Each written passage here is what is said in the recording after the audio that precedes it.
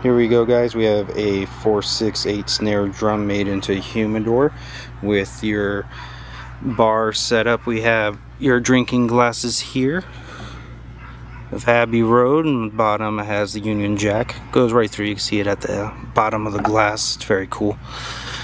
Come over this way. You have your hidden compartment that'll carry your cutter, your lighter, light switch, anything else that you like on the bottom also has the signatures of the band and that is reversible.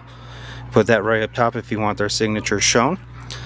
Right here we have the front cover, Abbey Road, and we have the side here. This is the mechanism that keeps it nice and sealed. Flip this up,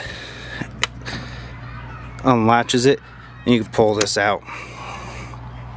Inside we have three trays has a couple cigars in there to show you what they would look like. It's very actually large storage. Up here we have a removable light. Comes down with a magnet. Goes right back up. All these trays come sliding out. This one, this tray is of the yellow submarine.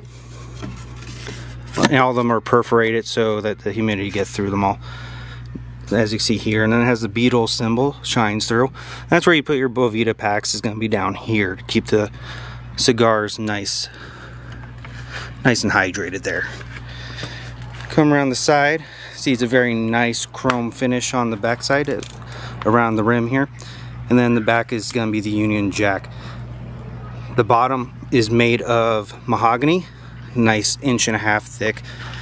Very heavy very nice Great gift. Hope Mills Designs.